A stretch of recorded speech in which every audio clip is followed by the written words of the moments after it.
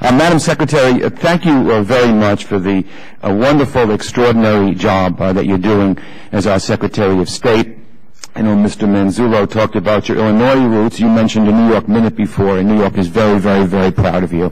So thank you for everything you, you've done. I want to throw out a few things and then just ask you to, to comment on, on anything you'd, you'd like to comment on. Um, I just uh, come back from Israel, trip to Israel, and I met with uh, top uh, leaders, and all anyone wanted to really talk about is Iran. I know we've had a lot of discussion here uh, about about Iran, but um, obviously um, it's a very serious uh, situation, and uh, we all agree that Iran must not be allowed to have a nuclear weapon, and I really believe that ultimately nothing should be taken off the table because they, they really uh, must not be allowed to have uh, a, a, nuclear uh, weapon. Um, Syria. I was the author, as you know, of the Syria Accountability Act, uh, which slapped sanctions on Syria for aiding and abetting terrorism. I know that uh, just last week we have now uh, opened uh, diplomatic relations with them, exchanged ambassadors with them for the first time in many, many years.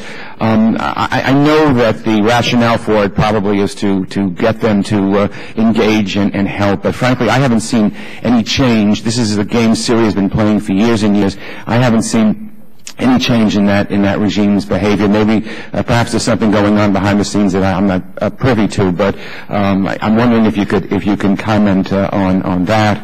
Um, we, we talk about Iran, um, the dissidents in Iran. I, I know that the feeling in, in some quarters is that we don't want to publicly identify with them too much because it'll just uh, help the regime to uh, uh, say that the dissidents are, are, just agents of the United States. But I really think that we need to have more uh, public uh, support uh, for the brave people of Iran who are standing up under extraordinary conditions against against their their regime. Um, Kosovo. Um, I just turned two years old last week, and uh, uh, we're trying very hard to get uh, other countries to, to recognize them. I know the administration has been doing that as well. Um, uh, with the officials of, of Kosovo, they are uh, very interested in getting into the EBRD, which is the European Bank for Reconstruction Development. Uh, they need some uh, countries to, to vote them in, and I would hope that behind the scenes we are uh, uh helping to convince countries to, to support them in that. Uh, I want to quickly talk about, since I chair the Western Hemisphere Subcommittee, a couple of those issues. First, first of all, thank you for the extraordinary effort of you personally and the administration with, with Haiti. Um, this has been, been something that, of course, has all, has all gripped us, and uh, I think that uh, it's very, very important. I'm delighted to hear of your upcoming travel to Latin America. Uh, I think that we are, we are re-engaging the hemisphere after years of neglect, and I think it's very, very important. And I want to talk about drug policy. I believe that we need a more holistic approach to our counter-narcotics strategy in the Western Hemisphere. Uh, I support strongly the Andean Counter-Drug Initiative, the Merida Initiative, and the Caribbean Basin Security Initiative, but I think we need to do a better job in weaving all of these things together. So I'd like to hear your thoughts on that. What efforts are you taking to better integrate these efforts? Um, so that our successes in certain countries don't contribute to problems in other countries. Um, I personally have suggested uh, designating a coordinator at the State Department to oversee all our Western Hemisphere security initiatives. And would you consider doing this? Would you think about this?